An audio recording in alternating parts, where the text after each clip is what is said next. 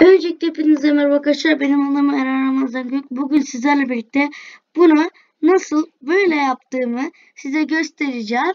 İlk önce arkadaşlar tabii ki A ve So M yazıyorsunuz ve düzeliyor. E, bunu açıklama linkine yazacağım eğer şey görmeniz için yani ne yazacağınızı açıklama linkine yazacağım. Gördüğünüz gibi ben de şaşırdım ama A ve So M yazınca çıldıran bir şey geliyor valla. Anlamadım.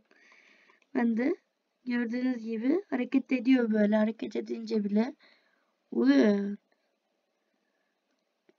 Ve düzeltmek için gene A ve son yazıyorsunuz. Güzel.